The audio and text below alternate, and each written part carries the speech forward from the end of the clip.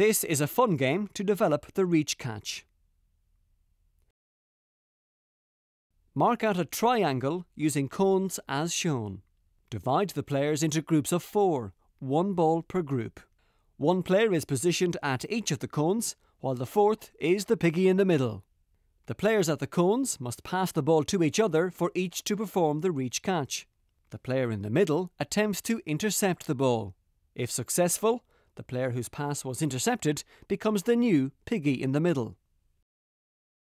Begin by throwing the ball above the head, and after a set time, change to fist the ball to head height. Continue the game for a set period of time.